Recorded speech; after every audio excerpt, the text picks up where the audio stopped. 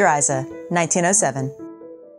Weighing in at 1.5 pounds and with an overall length of 6.3 inches, this striker fire blowback gave me an unanticipated experience. The 7-round single-stack magazine was industry average for the time, and chambering the 32 ACP cartridge was a breeze thanks to those raised vertical grooves on the cocking bar. Unfortunately, it does put my hand close to the danger zone. Recoil was snappy thanks to a high bore axis and the odd-weighted overhead bar, which adds necessary mass to the blowback breech block, but then slams to the rear after each shot. Those rear rotating safeties will never make me happy as they require you to break your grip to operate every time. The sights are unique but surprisingly quick to find, with a tulip-like contoured rear and V-shaped front set into a center trough. On appearances alone, I expected to dislike this piece, but on range, it proved to be very accurate, not just for me, but for everyone. That's a win in my book.